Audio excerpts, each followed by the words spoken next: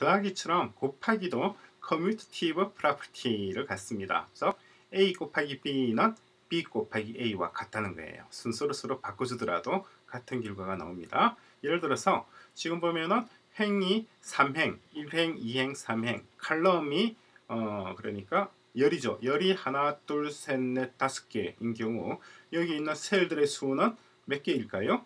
15개죠. 그죠? 근데 이것을 옆으로 한 바퀴 뺑 90도 탁 돌리는 거예요. 돌려서 이번에는 행이 5개고 열이 3개예요.